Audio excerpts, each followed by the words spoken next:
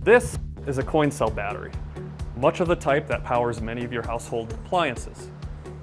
Now, the fundamentals of this chemistry are fairly well known, but if you want to squeeze every last little bit of performance from this battery, the devil is in the chemical details. Now, how do we find out about these details? That's where this big guy comes in. This is an NMR magnet. And if we were to put this coin cell in the magnet and found a way to apply an oscillating radio frequency magnetic field to the material inside the coin cell, the atomic nuclei inside would just sing about their chemical environments, information we really, really want to know if we're optimizing performance. Problem. The metal casings of the cell. Metal casings are well known to block oscillating radio frequency magnetic fields. So for a long time, it was thought that NMR of coin cells would be an extraordinarily difficult task. So how do we do this? Well, that's where this guy comes in. This is our NMR probe designed to deliver oscillating magnetic fields to the inside of the coin cell.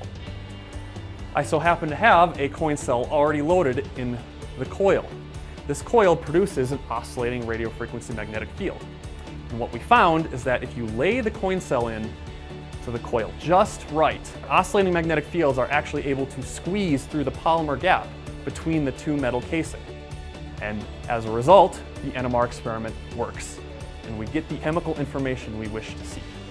So we have loaded a coin cell into the NMR probe, and we are currently running an NMR experiment on the coin cell. The probe base is right here. It's been, the probe has been inserted into the bore of into a very large superconducting magnet, which provides the static magnetic field for the experiment. This black cable uh, is a connection to the NMR spectrometer, which provides the pulses that stimulate the nuclei in the coin cell, as well as records signals coming off of the coin cell for detection. Finally, I'd like to point out that this uh, white cable right here contains direct current leads which connect to the battery and go over to a potentiostat. And at the potentiostat, we're able to drive the coin cell using whichever electrochemical experiment we wish to perform. Because conventional wisdom said that oscillating magnetic fields cannot be delivered to the inside of the battery on account of metal casings, researchers had developed this paradigm where the battery was adapted for the NMR probes that were available. And so th this involved uh, creating custom cells that used very thin wires to deliver the current, things like plastic casings, and it changed the internal constituency of the battery cell so that it was really a question of whether or not the chemistry and the details that were being observed actually carried over to a real functional cell.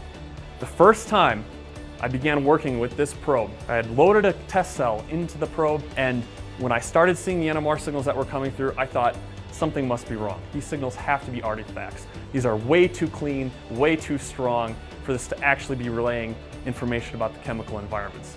But it didn't take long to realize that sure enough, the signals that we were measuring actually corresponded to the lithium environments we expected in the test cell. So everybody is interested in batteries that last longer, deliver more power, and are all around cooler. And that really is just the fundamental driving force for this work. We are using this technology to study cutting edge, next generation battery chemistries that will be used in grid storage and electric vehicles.